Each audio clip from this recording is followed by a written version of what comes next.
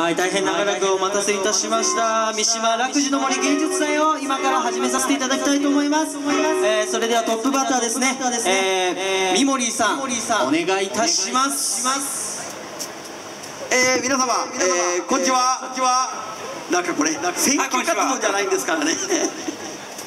あ一応音楽をやりに来てるということで、あのなんかいきなりトップバッター三森ということで、ねしかも場所がねこれバスターミナルの前ですよ、島野さん。ね5000円ありがとうございます。だからトンボ止まってますよマイクの前に。ねこうびっくりしちゃった今。あのね、いろんなとこでねこうライブうちやってるんですけど、バスターミナルの前でライブってね意外とないんですよね。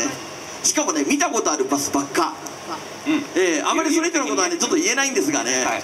えーいつも毎日見ているバスばっか。